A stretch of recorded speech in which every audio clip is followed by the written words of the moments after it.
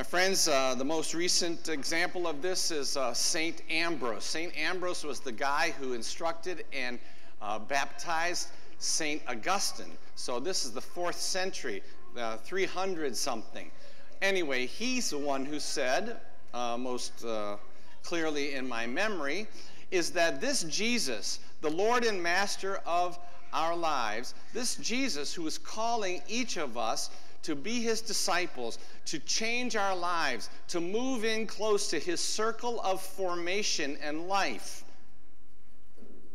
To be a disciple, to have a, a life that is under reconstruction. That might be the best way for us to image uh, a discipleship life. It is one that is consciously and intentionally being reshaped around the model and the friendship and the love and the grace of Jesus the Master.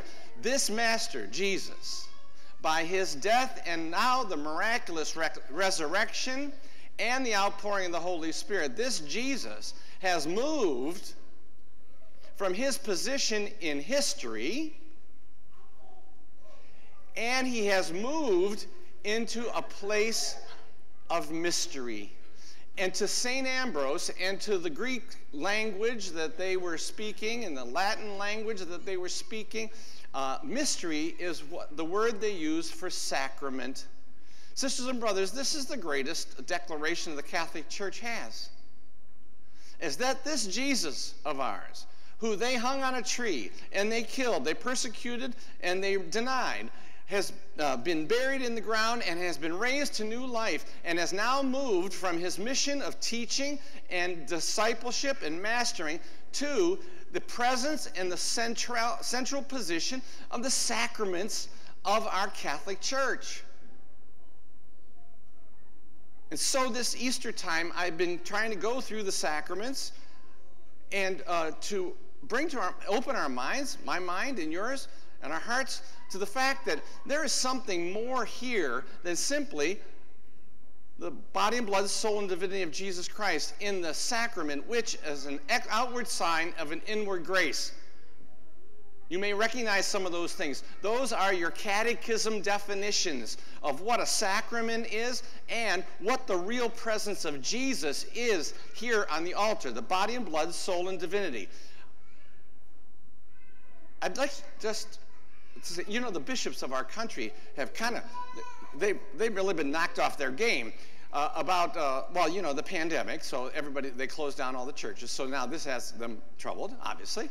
And so, and uh, many of us are not coming back to church, so that also has them troubled.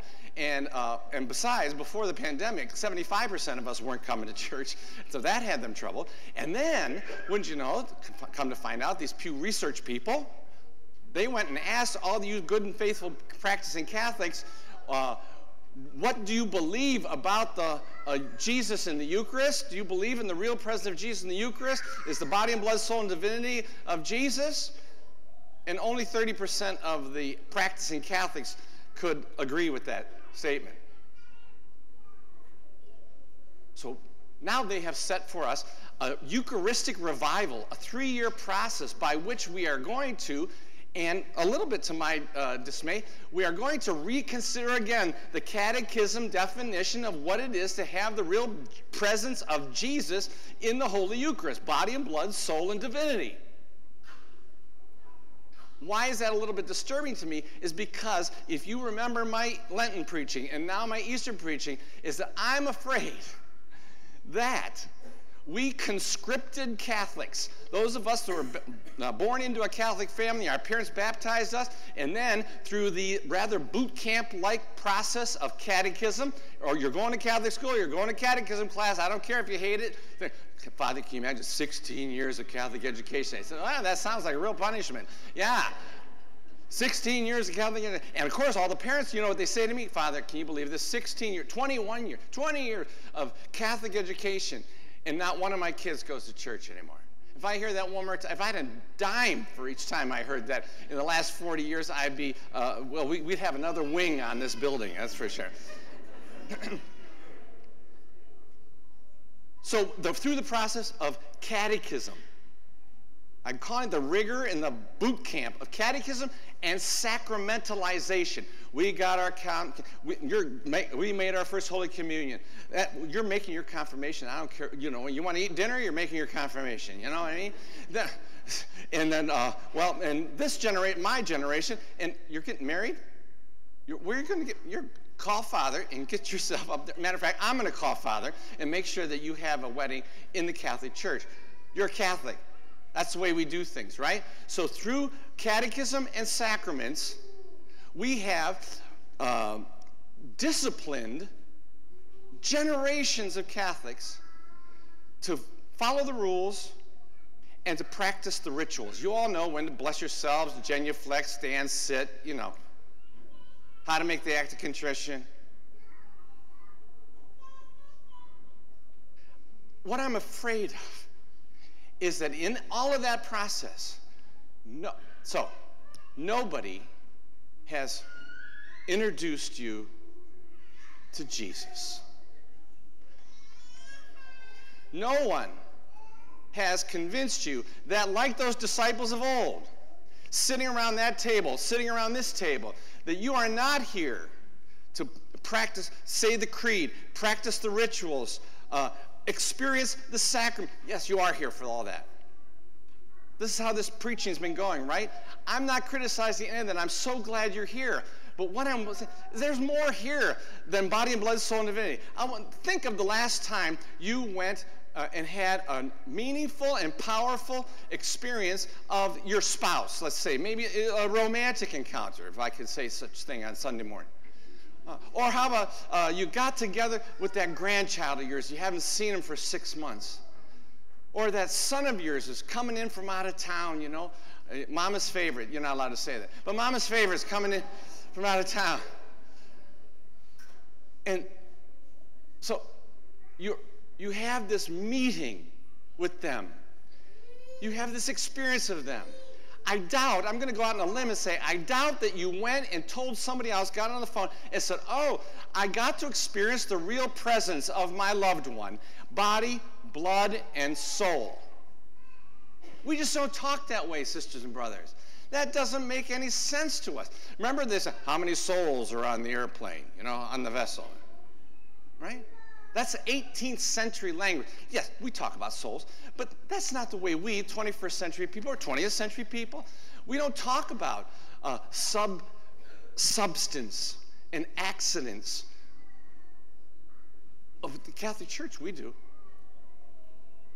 You can see that my concern is that if we are going to revive our encounter with Jesus in the Holy Eucharist, it's got to be more than another renewed catechism definition for all of us. It's got to be more than simply uh, more catechism, more rigor, more discipline, more rules, more ritual. You people and I, we've got it down. We know it already. What we don't know is Jesus. I'm afraid. And not that we don't know him, but I mean know him like in the biblical sense, like encounter him, see him. And like those disciples, if we did, let's just say, so I, you say, I wonder if I'm in meeting Jesus at the Mass when I go.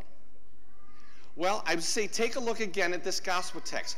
Do you see what happened to those people? They were walk they weren't walking, by the way, walking down the road. They were running.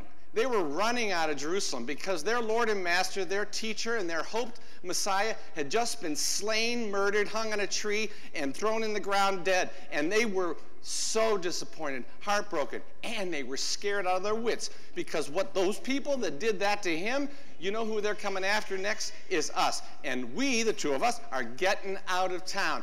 That's what they were doing. They were running in fear and discouragement and disappointment out of Jerusalem and going to the hill country.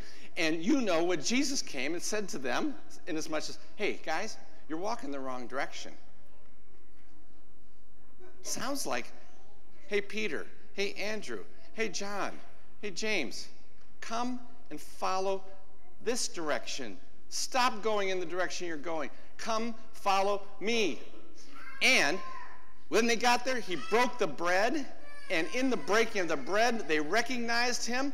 And what did they do? They jumped up from their place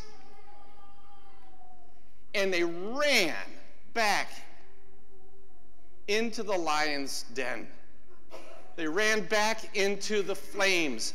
They ran back into the danger, the loss of life.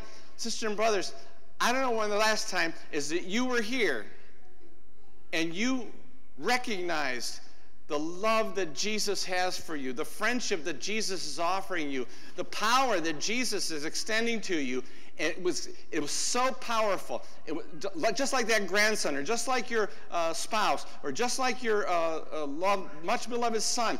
It was such a powerful thing. You, had, you got up from this bench and you went running back out there. And what did you do? You expressed this love, joy, peace, renewal of life to somebody you care about out there. When was the last time?